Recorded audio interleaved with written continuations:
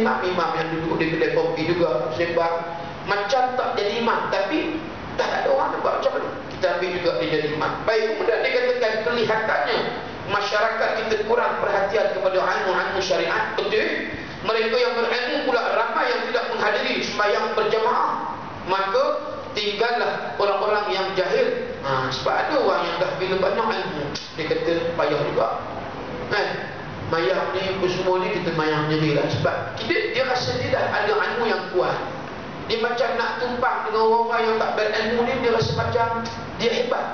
Sebab itu kita tengok di masjid di surau. Ni bukan di masjid di surau RNR di mana-mana ada RNR ataupun di Petronas kan? Petronas dia ada surau. Boleh dah kita sembahyang musallah biasanya susah mana sembahyang berjemaah kan seorang ujung sana seorang ujung tuang ujung tengah kiri kanan depan belakang. Sebab apa? Mungkin yang pertama tadi ada orang dia rasa aku ni ilmu tinggi. Aku tak payah nak sembahyang berjemaah dengan dia. Kan? Tengok dia pun pakaian pun semoga dia aku tengok. Ilmu tak ada. Aku sembahyang seorang. Sebab dia tak nak berimamkan macam tu punya orang. Lepas tu kita pula yang hebat ni. Ya? Orang. Patut tengok kita ni. Ah, ini Datuk Dr. Harudin ini Datuk Harudin sendiri tu. Datuk tak bermakmumkan di sebelah. Di belakang. Sedangkan dia ulama. Sebab apa dia tak tahu dalam hati dia segar pula mayang belakang. Datuk Harudin lah segar kenapa pula? Patut kita meraihkan kita nakkan berkat dia jadi imam. Tiba-tiba eh segar mayang seorang. Ni aku Datuk Harudin kan semayang dekat 20 minit. Kan? Dia semayang dah memang dah itulah standard dia mana-mana pun. Rabi kerja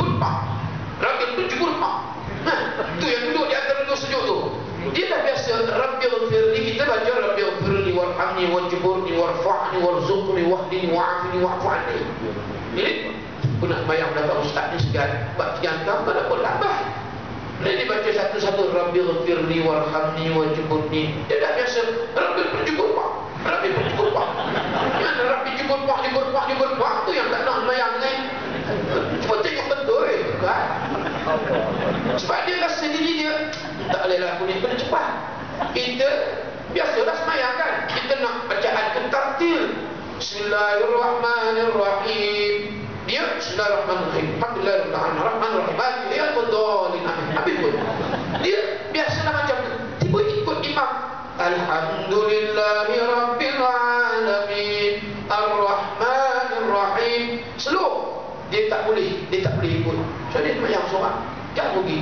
Itu pun dia antara kita ya ada yang jahil tak nak ikut orang yang berilmu ada yang berilmu ikut tak nak juga semayang dengan cara yang disuruh oleh Rasulullah sebagai satu sunnah. Ayat ini berlaku tuan-tuan.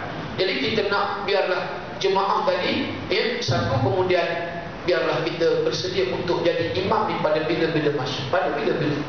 Jangan kita hanya imam di rumah di surau pun sekali-sekali kena, kita kena jaga Alah, ada orang yang tak boleh orang apa yang di belakang. Betul. Kan sahabat cerita Datuk Aludin lagi. Dia dah lah penat kan. Dia dah ceramah. Kemudian dia pun minta Datuk Aludin jadi imam juga. Kan saya kata kenapa cik? Mula-mula macam kita macam nak marah bukan marah. Lah, kenapa dia bagi juga dia jadi imam? Tak tahu ke Datuk Aludin itu musuh? Kan kita ingatkan kot dia pun dipaksa juga. Rupanya tak gini Ustaz. Dia pun suruh Datuk Azudin jadi imam. Sebab apa dia? Dia pun ni semua tak ada kelayakan untuk jadi imam. Takut dia pun jadi imam. Tadi bacaan dia jadi ngam-ngam. Daripada baca ngam-ngam baik suruh Datuk juga jadi imam lah sebab kadang-kadang ada orang ni eh, tak boleh. Katalah kita sama dengan kita Datuk apa dia Tan Sri kan Datuk? Tan Sri Hasan Azhari kan? Dari kira pakar tajwid Malaysia. Tan Sri Hasan ha, apa dia Hasan Azhari kan? Uh, bapa Musa Hasan uh, jadi bila dia ada dengan kita takkan kita nak jadi imam. Dan Tan Sri ni pakar tajwid kita kata ke depan. Kan? Tan, Sri ke depan.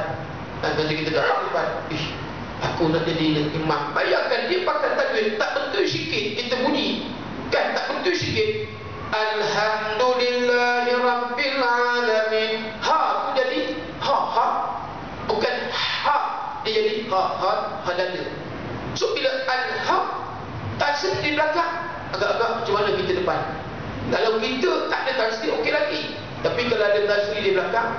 Dia nak belum. Atas bawah belum nak habis Fatihah. Nak buat. Sebab orang tu orang yang hebat. Kita baca kita, kita tahu aku ni baca hadis tak kampung boleh lalu tiga orang punya. Makmum mungkin ini tasri pun semua ni ulama mufti. Macam tu kadang-kadang orang tak berani nak jadi imam. Kan? Orang suruh. Yang saya kadang-kadang sakit lah. Eh, tapi fikir kadang-kadang orang tu hormat kita nak berakhirkan, nak berkat. Jangan jalan orang kata macam sakit. Nak sakit tak kita kadang-kadang tekak dah habis dah dengan menyanyi lagu Ella apa semua kan. Dengan menyanyi lagu tu lagi ni. Kita tak pernah kan imam bagi lah imam tempatan. Yang faham-faham kadang-kadang dia imam dia tak boleh okey. Tapi kalau tak dia kata stafir. Itu ya Allah habis dah bunyi sakut-sakut lah. Kan? Baru dia suruh juga saya baca ayat sajadah. Saya kata tak boleh. Suara saya dah sakut-sakut dah habis dah parah. Nanti nak ceramah lagi dengan kita lagi suara kan. Ha, jadi itulah yang kita nampak antaranya orang nak jadi imam dengan tak jadi imam. Jadi dalam hadis ini menceritakan saat yang orang nak jadi imam ini nanti cukup payah di akhir zaman, cukup susah. Maka apabila ini berpanjangan, pasti pada suatu hari nanti akan sampai juga ke peringkat keadaan yang telah dinyatakan oleh Rasulullah tadi. Mungkin lagi, mungkin ada lagi orang yang boleh jadi imam. Satu hari nanti dah sangat teruk mungkin langsung dah tak ada orang nak jadi imam. Bila tak ada orang nak jadi imam, siapa nak duduk di masjid? Siapa nak sembahyang berjemaah? Pakat semua pak sembahyang di rumah.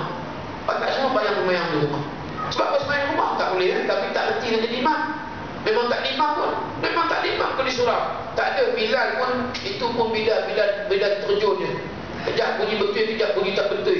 Hayya'na salah, hayya'na falah. Kan? Bunyi Semayang salah tak semayang salah Dengan bunyi betul-betul kadang-kadang Itu Itu pun satu eh Takut sampai bila pun dah tak reti nak azan Kalau lagi kabut Al-haru wal-biru wal-kalak al-kalibut Summan mangku wal-hayyun Dah sampai tahap jam tujuh tuan kamu lah kan? Sampai bila pun dah tak ada Dia kata siap Tok siap pun kata aku tak boleh ramah sini kan?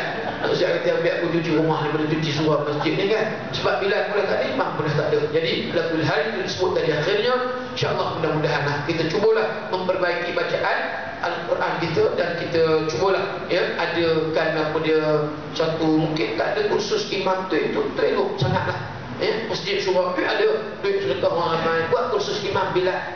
Sebab akhirnya kita kalau tak imam yang betul-betul susah. Nak harapkan maaf orang daripada maaf tapis tak keluar lagi kan tak kreatif jadi kita lah yang di antara kita cuba nak jadi imam. Tengok siapa yang boleh. Ha, jangan segan-segan sebab ini tanggungjawab tuan. Tanggungjawab. Okay, insyaAllah mudah-mudahan kita dah habis selesai pada malam ini. Hadis yang ke-31 pada bulan depan kita akan uh, sambung pada hadis yang ke-32 iaitu ulama tidak dipedulikan. Oh yang ni sedap sikitlah kan tuan. Tentang ulama tidak dipedulikan bukan saya sebut ni Nabi sebut ada zaman nanti. Wallahu a'lam. أقول قولي هذا وأستغفر الله العظيم لي ولكم السلام عليكم ورحمة الله وبركاته بسم الله الرحمن الرحيم اللهم إنا نسألك علما نافعا وعملا متقبلا ورزقا واسعا حلالا طيبا. اللهم اجعل معنا جمعا مرحوما وتفرقنا من بعده تفرقا معصوما. وصلى الله على سيدنا محمد وعلى آله وصحبه وبارك وسلم. الحمد لله رب العالمين.